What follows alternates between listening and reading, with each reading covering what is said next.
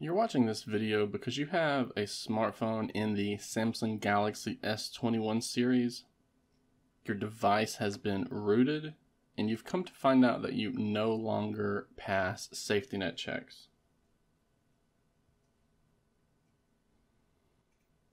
So as you can see, my Samsung Galaxy S21 Ultra is in the same situation. I just gained root access to the device and because of that, I am now failing safety net checks. So in this video, I'll be showing you how to fix this issue and begin successfully passing these safety net checks again. Now my Galaxy S21 Ultra has Android 12 One UI 4.0 installed on it, and it has been rooted. If your device does not have root access yet, look in the video description and I'll include a link to the root tutorial I did specifically for the Galaxy S21, the Galaxy S21 Plus, and the Galaxy S21 Ultra. Now that you are caught up with how my phone is set up as well, you need to download the Zygisk module as your first step here. So I'll be including the link to KDragon's GitHub page and a mirrored APK or a mirrored zip file download for this Zygisk module in the video description below. Oh. So after you have downloaded that Zygisk module, we need to flash that in Magisk. So we can open up Magisk and then we're going to tap on the modules button down here so that we can tap the install from storage button up here at the top. So if you do not see the module listed here, browse for it in your downloads folder. And again, just select this Zygisk module that we have downloaded. Once that's done, we should see a blue reboot button down here at the bottom. Go ahead and tap that so that we can let the device restart and boot back up into Android.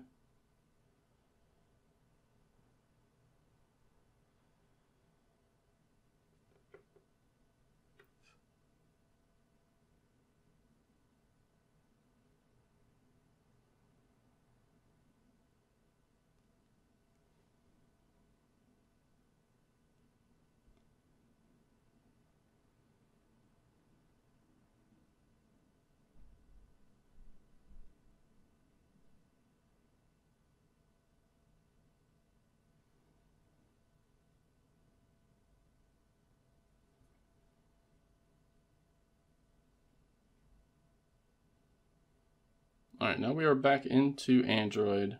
We have installed the Zygisk module, but it has not been enabled or anything yet. So we're going to go back into Magisk. We're going to go into the settings. Scroll down a little bit. You're going to see a Zygisk toggle right here. We're going to go ahead and tap that to enable. And then you're going to see a toggle for the enforce deny list as well. And we're going to tap that to enable this feature as well. After you have enabled the deny list, some people will need to configure the deny list. This is not something that you need to do in order to pass safety net checks.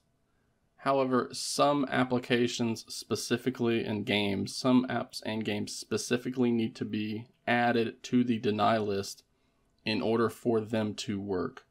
For example, if you have a banking application that is being very difficult, you likely need to add that banking app to the deny list. The same thing can be said with things like Pokemon Go, who are very stubborn with safety net checks. These apps that you're having trouble with need to be added to the deny list. Now, something else that is also optional, it's not required in order to pass safety net checks, but it sometimes is possible for apps who are checking to see if Magisk is installed. So many apps check to see if Magisk is installed and will refuse to run if that is the case. And we can use this hide Magisk app in order to prevent that issue. So configuring the deny list and hiding the Magisk app is recommended if you're having issues with safety net checks, but overall, it's not actually required in order to pass those checks. And once we have the deny list and whether we're going to hide the Magisk app or not, once those two steps are done, we're going to restart the phone again.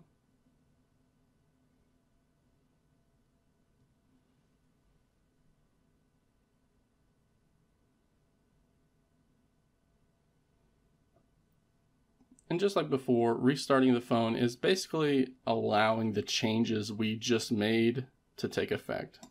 A lot of the changes we make to Magisk need to have a reboot in order for them to take effect.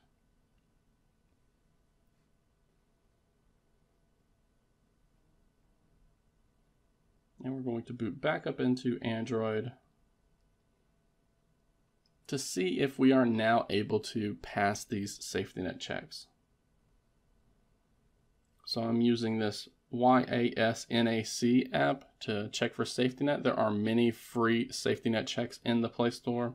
I'll link to this one in the video description for those who are who just want a direct link to the apps that I'm using.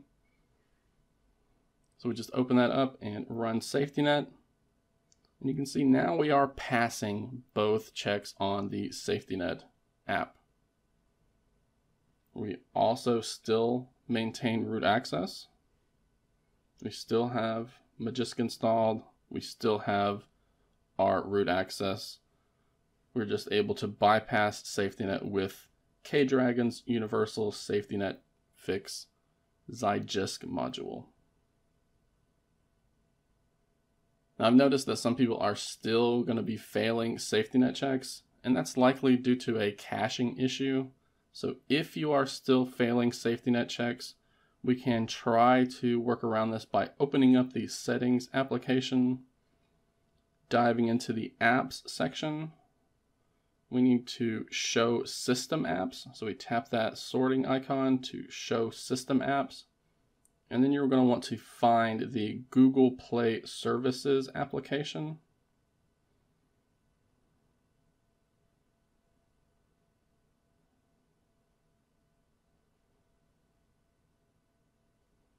And from here, we're going to tap into storage and we can clear the cache as well as manage storage to clear all data.